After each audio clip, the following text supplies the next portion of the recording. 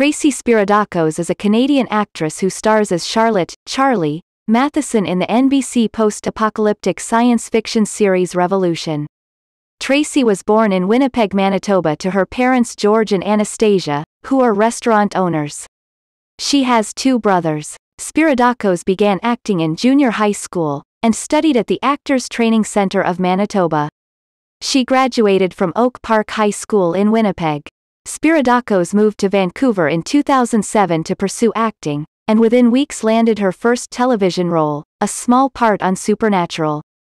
She continued working in television, with walk-on roles. Spiridakos appeared in the TV movie Goblin, and the web series Mortal Kombat, Legacy. She also had a recurring role on Being Human as werewolf Bryn MacLean.